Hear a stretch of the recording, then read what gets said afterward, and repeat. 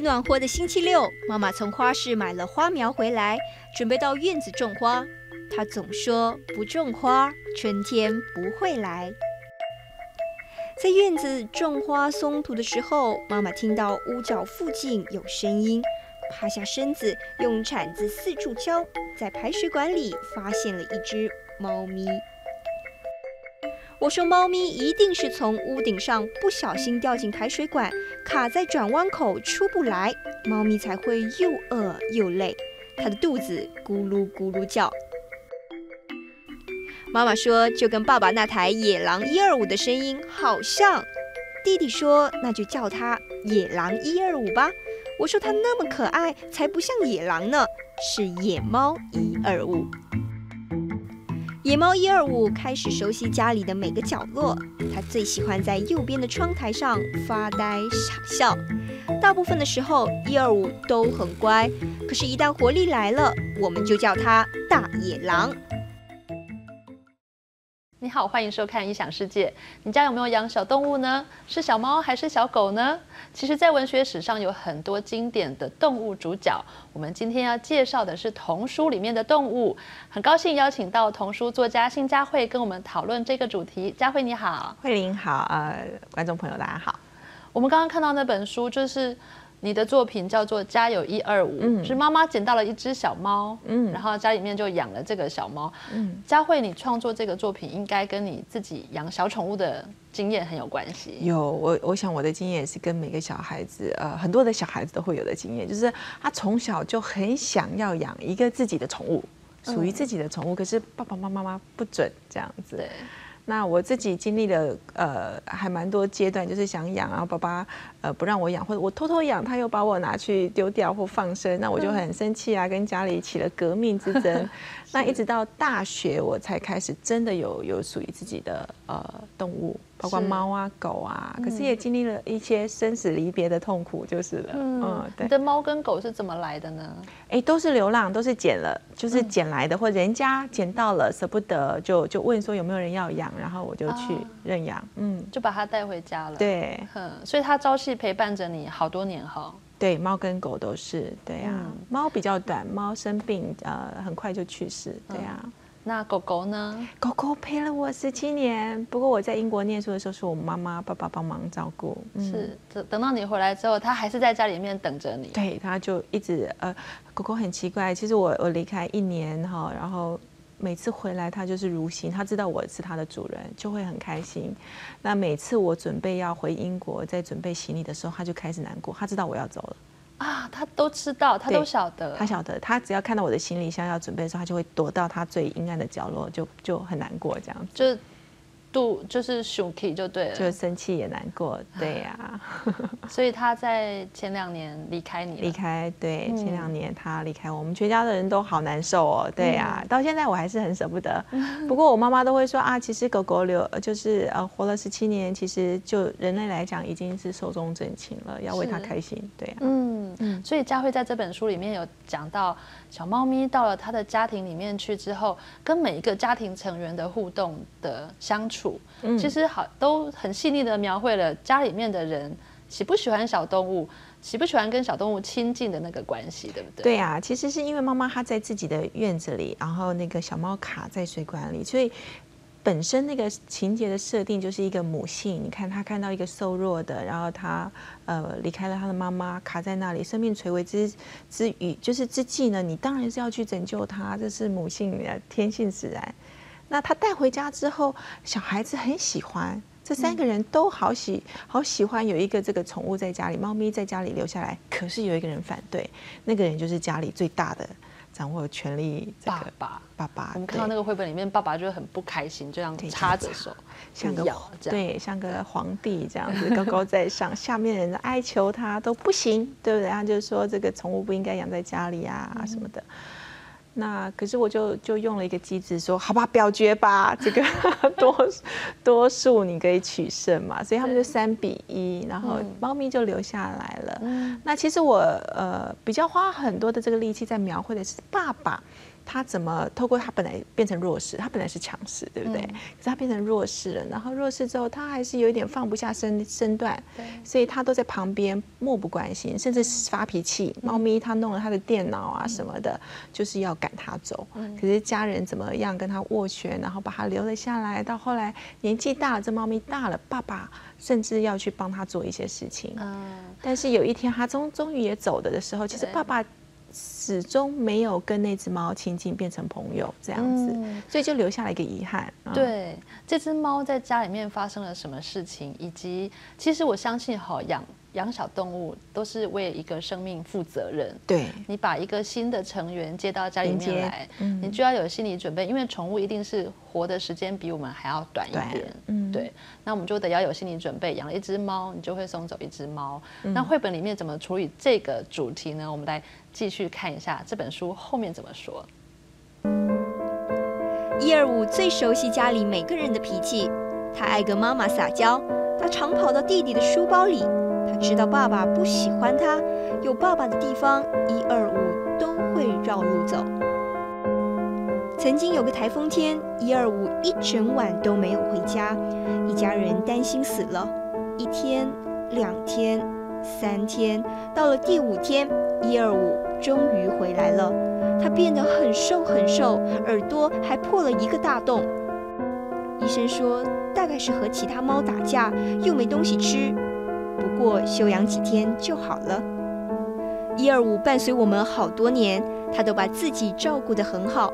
可是有一个冬天，他得了感冒，生了场大病，在医院整整住了一个星期。我和弟弟赶到医院时，一二五已经闭上眼睛，一动也不动了。没有一二五的这些年，妈妈的生活步调变慢了。她到公园时都会带着饲料要给路边的猫咪。妈妈很想念一二五。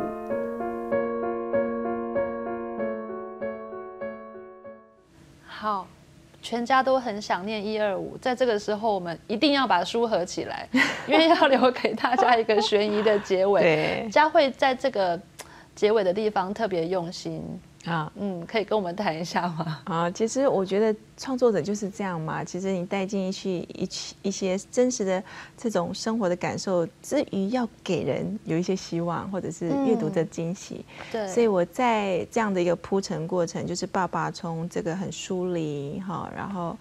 呃，慢慢接近，那到最后，其实最柔软的会会变成是他这样子。他后来就在妈妈四十岁的生日的时候，就送他一只新的小猫咪。嗯，反而是爸爸把小猫再接回了家里面。对，一只新的小猫。对，那这个对。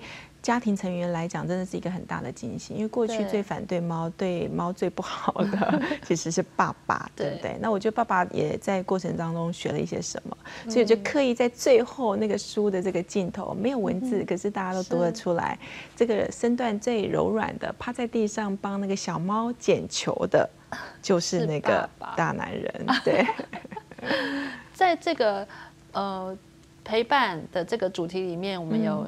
呃，小宠物家里面会有呃小新的成员进来，嗯，当然生命也是会离开，这个一个家庭里面也会有呃。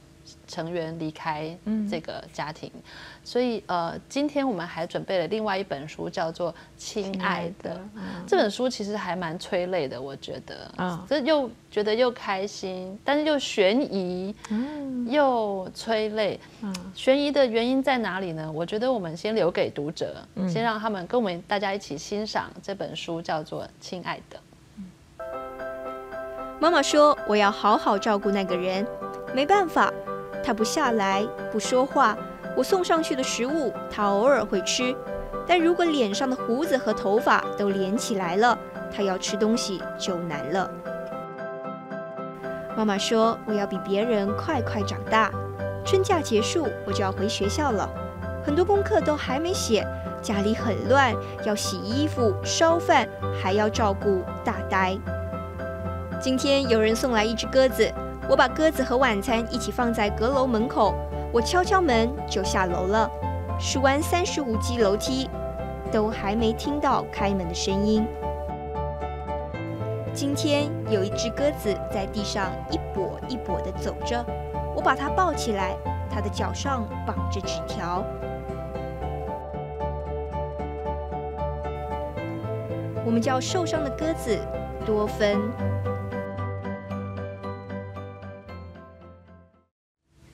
个这本书我刚刚说为什么它很悬疑，就是这个小朋友忙东忙西，忙东忙西，可是都没有看见其他的人出现，然后，嗯，是一个很悬疑的 绘本。对，请佳慧跟我们谈一下这本。绘本叫做《亲爱的》啊，其实我当时在英国，呃，有有有这个动机要写这本书的时候，就给自己几个挑战。然后，第一个是形式上的，我想要破除一般传统说故事的方式，我希望读者能够更积极的投入啊，去理解我这个故事，去感受它。那这个是形式上。呃的的技技巧方面，然后你要克服这个效果。那再来，我想要挑战的就是，我希望能够让在处理处理生命议题的时候，其实孩子他是有能力面对的。因为过去我们在面对死亡的时候，孩子可能是一个最瘦小、最没有能力处理的，那大人都要忙着去保护他，哈，我去帮他理解死亡是怎么一回事。可是我觉得，其实孩子并没有我们想象中的这么。无无能为力或脆脆弱，对，所以我想要重新塑造一个这个家庭，他遇到一个死亡的这样的一个意外事件的时候，孩子可以扮演什么样的角色啊？对，所以很悬疑的地方在小朋友一个人忙东忙西，嗯，很悬疑的地方在这个阁楼上的人到底是谁？到底是谁？然后他胡子也连起来。对，什么脚毛还是什么都要连起来，对他都不下来，然后他就收到鸽子，又有飞鸽传书，看到了一些呃信，对对，这中间这段过程，其实在绘本里面很嗯用很细腻的方法告诉我们，其实在阁楼上的是。他的爸爸对，但是他的妈妈其实呃生病去世了。可是他妈妈知道，其实爸爸可能在某种呃状况下是比孩子更脆弱的，所以他就要他的孩子那个主角说：“你要先好好照顾爸爸。”可是我故事当然就不要一下就收破了，所以我说妈妈说我要先好好照顾那个人啊，那个人就是爸爸。对，那这样读者就会想。为什么他要先照顾那个人？又是谁？为什么他不吃饭又不说话？到底发生了什么事？是对，那这就是我说的，这样读者他就会更主动、积极的去理解。嗯，对啊。好，然后在这个绘本中间，我们就发现，哦，原来爸爸在阁楼里伤心的没有办法下来。对。然后鸽子呢，其实是爸爸对想要飞鸽传书，写信给妈妈，写信给妈妈，他还没有办法完全接受妈妈已经呃离去。他觉得妈妈就在某个地方，所以他要跟他讲话，这样子，所以他要透过这个飞鸽来传递他的纸条。嗯，可是这个鸽子一只两只送出去，都会因为意外，就那个纸条就会掉到地上，然后被豌豌豆，就是书里面的主角读到。对，所以这个小女孩就会觉得，嗯。怎么他叫了鸽子，然后这个纸条好像跟他都有某一些关联，他自己也变成一个小侦探。对对，所以后来他离亲啊，那是他的爸爸，他还没有办法舍去他的妈妈，嗯，所以才会这样把自己就囚禁在楼上，不吃不喝这样子。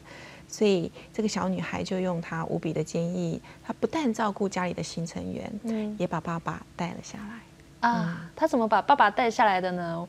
我们再继续来看这个绘本里面到底怎么说的。好，整个下午我都在厨房忙碌，但我们没忘记一边工作一边唱歌。然后我赶紧回房间，穿上我最喜欢的洋装，梳头发、夹发夹、戴项链，照照妈妈给我的镜子。终于六点十五分十五秒，楼梯响了，砰砰砰的。我的心也砰砰砰的跳，他的头发和胡子没有连起来，脸上根本没有半根胡子草。啊，这是什么？那是一幅妈妈在微笑的画，是妈妈最棒最棒的表情。